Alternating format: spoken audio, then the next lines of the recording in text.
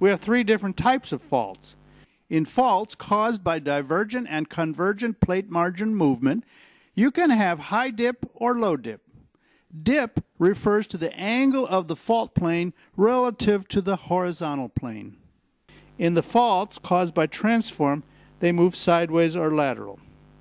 These faults have two sides. We identify the different sides by naming them the hanging wall and the foot wall. The hanging wall is above the fault line or on top of the angle, and the foot wall is below the fault line or below the angle. Hanging wall and foot wall are names that come from early miners looking for gold long ago. Since minerals, including gold, is found in faults, the miners dug down to the fault and moved across it, extracting the gold. The side where they hung the light or lantern was called the hanging wall, and the side where they stood was called the foot wall, where you put your feet. These expressions are now standard geological terms. The movement of the fault can be measured in the x direction, right or left. This is called the heave. When the movement is measured in the y direction, up and down, we call that movement the throw. To measure the left or right movement, we measure the heave. To measure the up or down movement, we measure the throw. A normal fault is caused by divergent plate margin movement. Remember divergent means pulling apart. You might also hear words like extension or tension, but they all mean divergent. These faults can range in size from a few centimeters to many kilometers. In a normal fault, the hanging wall goes down. Its fault plane cuts through the hanging wall and the foot wall at the dip angle. Here you can see they are whitened to illustrate their heave and throw movements.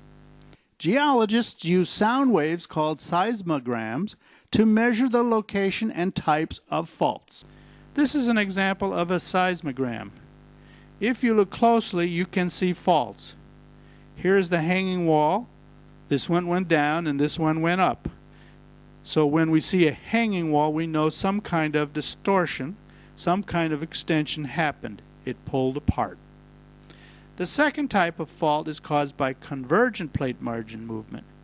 It is called a reverse fault. During the formation of this fault, the plate margins were pushed together or compressed. Now the hanging wall goes up. Reverse faults are always formed under compression. The fault plane causes the hanging wall to go up. This is the reverse of a normal fault where the extension forces it to go down. Within reverse faults we have two types. They are called reverse fault and thrust fault. The only difference between these two kinds of reverse faults is between the dip angles. The high angle, greater than 30 degrees, is called a reverse fault, and a low angle, less than 30 degrees is called a thrust fault. Some low angle thrust faults can literally be zero, which is what you see here. Divergent and convergent plate margin movements cause normal and reverse faults. Transform plate margin movements causes strike slip faults. When the whole plate moves, it is called a transform. But when there is movement on only a small segment, from a couple of kilometers to a few meters, we call these strike slip faults. There are two types of strike slip faults. Strike slip left, where the movement is to the left, and strike slip right, where the movement is to the right. So how do we tell the difference? Let's say you are standing next to this telephone pole on the slide. When you feel the earthquake, you look across the fault to the other side. If it all moves to the right, it is a right strike slip fault. If everything moves to the left, it is called a left strike slip fault. With left or right, it doesn't matter which side you are on. The movement will always be left or right relative to your position. Which side is actually moving we don't always know. They are moving relative to each other. You might be on the one that's moving or you could be standing still. The opposite side moves right from where you are standing, then it is a right strike slip fault. The third structural deformation is called folds. Folds are bent planar structures caused by ductile deformation. Ductile means something you can bend and then it will hold its new shape. Copper wire is an example of ductile deformation. You can bend it and it will stay in the new shape. Remember, ductile means that it bends. It doesn't break into two or more pieces. Surprisingly, under enough heat and pressure, rocks will bend. Rock folds that are formed where the center goes up are called anticline folds. Where the center folds down, we call these syncline folds. Oil is found only in the anticline folds. Here is an example of an anticline. The flanks are bent downward, forcing older rocks up to fill the inside of the fold. In syncline folds, the flanks bend upward, pushing against older rocks on the outside. We never find oil in a syncline. If you look at an anticline fold, you can see here where the oil can get trapped.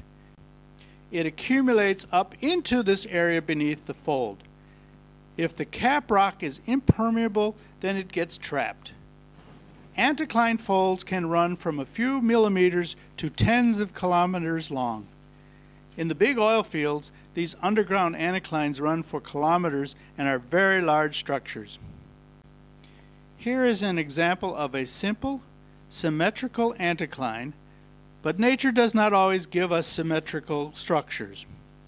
There are three other types, asymmetrical anticline, angular anticline, and plunging anticline.